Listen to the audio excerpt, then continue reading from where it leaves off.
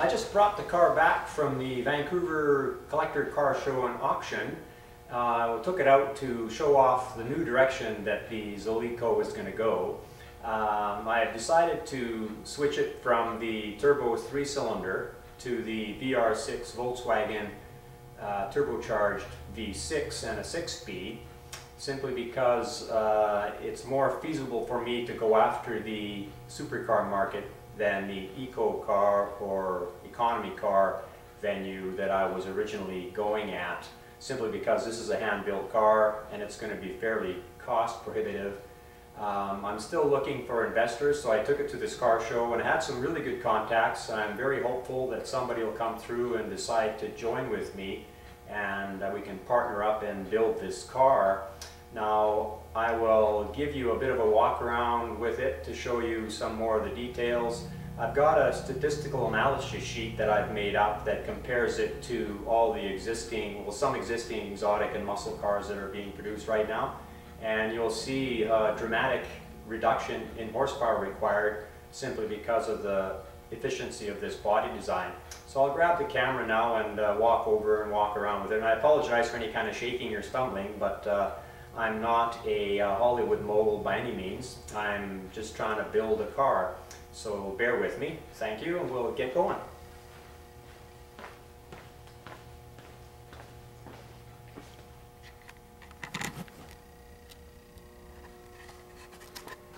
Now I've had some questions regarding the body as far as uh, like how are we going to how do you get the, the how do you get the tires off if you get a flat tire? Well if you look carefully here in the front you'll see the body line that's showing the skirts that will be removable and I'll come around to the back here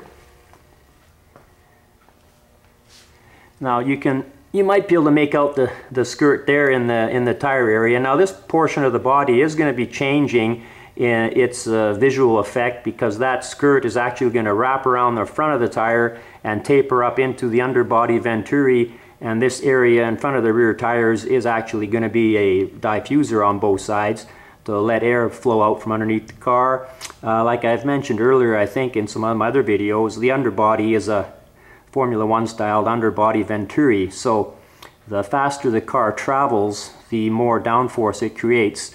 And that downforce is very efficient in that it only creates 25% of the drag of wings or spoilers that you were going to be doing to, to do the same thing. Thereby, you don't need as much horsepower to make this thing sail along.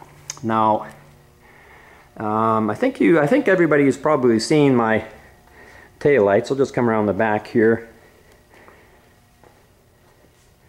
You can see the molded in tail lights. I know I've, I've had many comments from people that uh, it's very Jetsons-like, and actually I, I, I, consider that a compliment. You know, that's a very futuristic little child's program, but uh, um, it is rather enjoyable. But there's the rear view of it. Now we'll walk around and I'll show you those uh, statistical analysis charts that I was talking about. Now that uh, vent you see just above the wheel skirt, that is the uh, uh that'll be uh, that'll be an opening where the air pressure from inside the wheel well be escaping, and also allow flow through air through the uh, radiator and intercooler.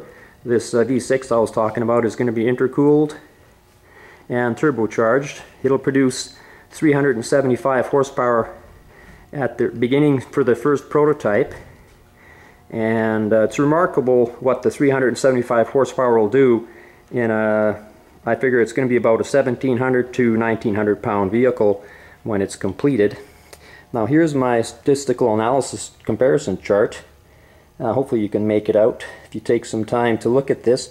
The most important number here is the coefficient of drag area number, uh, which uh, is the frontal area of the car multiplied by the coefficient of drag.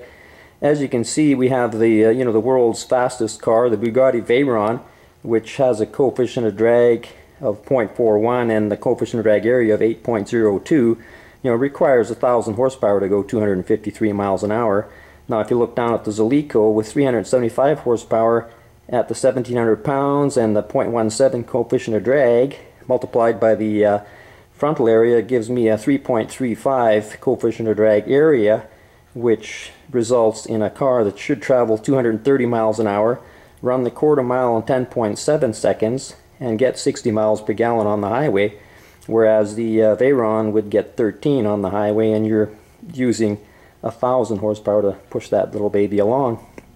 And then you can look at all these other vehicles. The Viper SRT10, for example, is 7.72.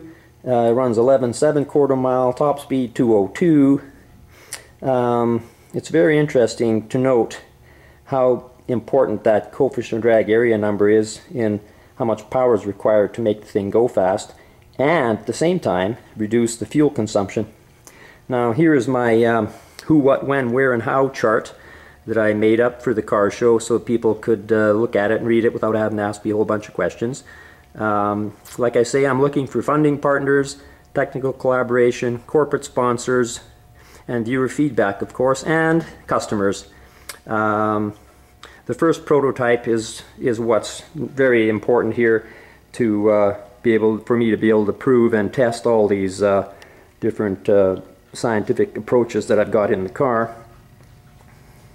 Um, the other question I've had is how many people can sit in the car. Well, if we walk around here, I'll show you that uh, the uh, I've got a sort of a facsimile of the rear seat installed. Now that front seat right now is adjusted for somebody that's uh, my height, which is just about six foot one. Um, there is uh, about 12 inches of legroom, and your legs stretch out and go underneath that front seat. Right now there's no floor, of course, but uh, um, and then there's the rear seat where you get two two full-size adults sitting in there side by side. Your shoulders are touching, but you can still fit in there nice and comfortable. And you're in a semi-reclined position.